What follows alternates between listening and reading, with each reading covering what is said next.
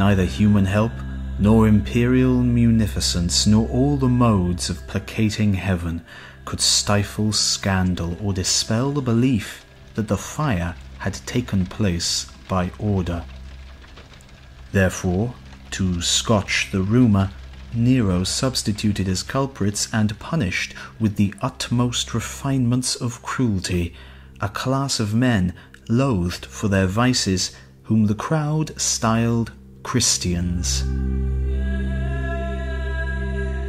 Christus, the founder of the name, had undergone the death penalty in the reign of Tiberius by sentence of the procurator Pontius Pilatus, and the pernicious superstition was checked for a moment, only to break out once more, not merely in Judea, the home of the disease, but in the capital itself, where all things horrible or shameful in the world collect and find a vogue.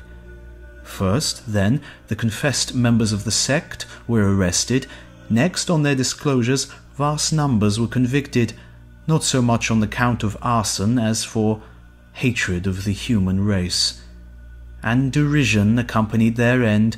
They were covered with wild beast skins and torn to death by dogs, or they were fastened on crosses, and when daylight failed were burned to serve as lamps by night.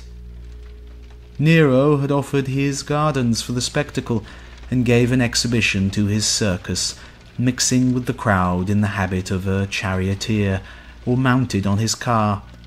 Hence, in spite of a guilt which had earned the most exemplary punishment, there arose a sentiment of pity due to the impression that they were being sacrificed not for the welfare of the state, but to the ferocity of a single man.